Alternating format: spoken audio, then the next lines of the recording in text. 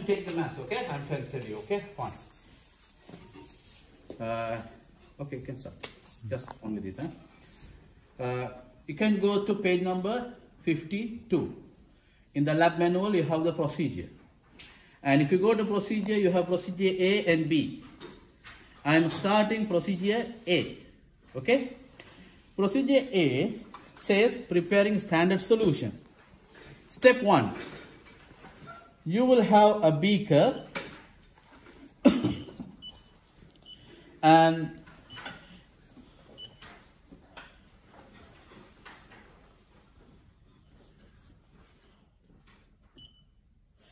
you have to take 0.8 gram of the chemical. So here is the sodium hydroxide chemical I have, NaOH. I will take 0.8 gram. Okay, in order to take 0.8 gram, I just take some chemical into the watch glass and keep my bottle closed. Take a watch glass close to the beaker because the reading is almost zero here and using the spatula take the sodium hydroxide pellets little by little. I have 0 0.1, 0 0.3, 0 0.5, 0 0.693, 0 0.7 something. Okay, I cannot get to exactly 0 0.8. Okay, fine. 0 0.817 gram. So can you record it in your procedure number one? The mass of sodium hydroxide 0 0.816 gram. 0.816 gram. Then what we do is we go to step number two. Step number two is telling add 50 milliliter distilled water into the solution. All of you please observe. Excuse me. Add 50 milliliter of this distilled solution to that one. You can add even more or little less, no problem. To dissolve this chemical, you're going to dissolve this chemical. How you will dissolve it? You will just use a glass rod.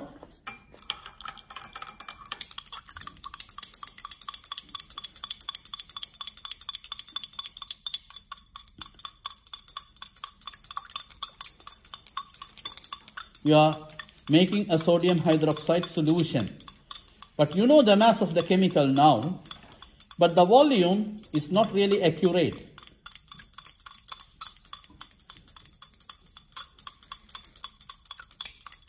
Remember that the beaker has 100 milliliter mark here. If I fill the water up to 100 milliliter, it's not accurate because the beaker is not a good equipment to read the volume accurately. So it is just to prepare the solution only.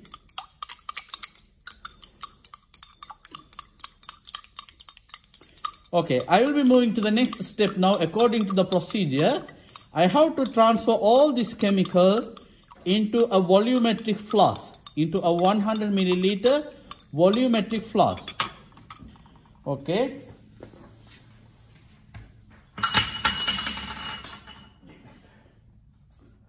I have a 100 milliliter volumetric flask and I will transfer this chemical into that one. And I will use a funnel for that. I will use a funnel for that. Anybody can see the funnel?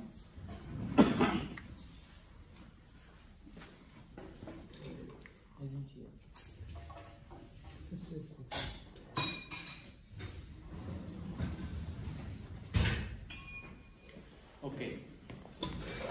We'll, we'll keep a funnel here. And then we will transfer our chemical. We should transfer all of this chemical. Look at the transferring procedure. Keep the glass rod in a vertical position like this and touch the beaker and then add the solution along the glass rod. See, it's going nicely.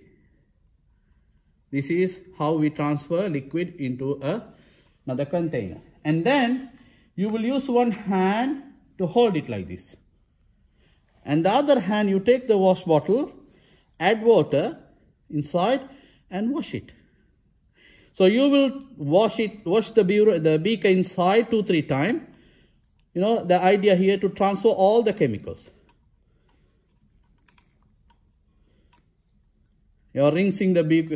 If you want, you can add little bit water like this and you can mix it, rinse it and the transfer. So this way we can make sure we transfer all the chemicals. And then what we have to do is, we have to add more water to bring it up to the 100 milliliter mark. Bring it up to 100 milliliter mark.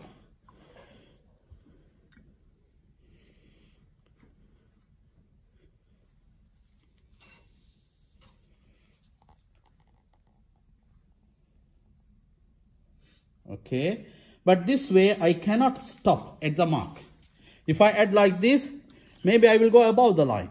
So what I do, I bring it close to my eye and I can see the line here and I will add the water carefully.